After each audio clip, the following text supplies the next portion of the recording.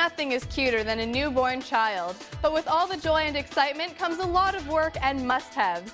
New dad and YRL reporter Adam Johnston went to Babyland in Vaughan to find out what every new parent needs.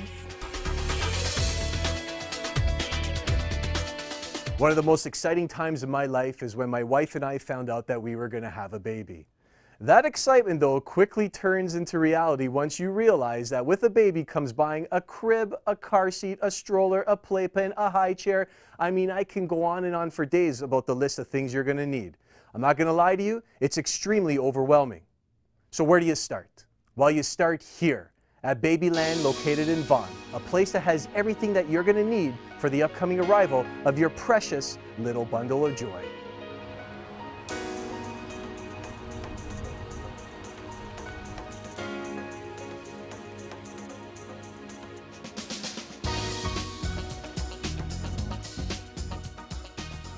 Babyland is a place where a parent can come to not only get the products that they need, but also enjoy the experience of becoming a parent.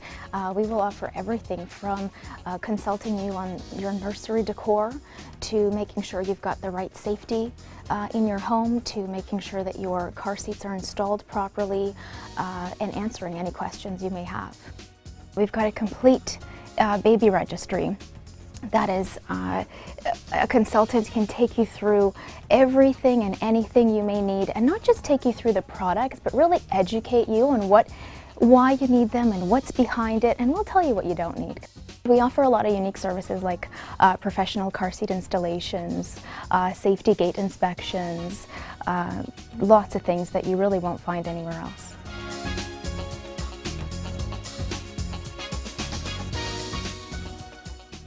So Elena, mm -hmm. you've had the baby, you're ready to be uh, discharged from the hospital, you want to start your life at home with a new bundle of joy.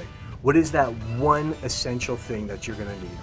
You're definitely going to need a car seat. In fact, the hospital officials are not going to let you leave that hospital unless you've got one of these uh, installed in your car. Some nurses may even come out to your car and check to make sure that it's installed properly.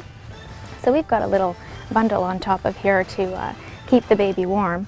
But what you want in the beginning is a rear-facing infant child seat. A lot of them are called bucket seats as well. Making sure that child is rear-facing and uh, it is uh, wage appropriate and age appropriate for the child.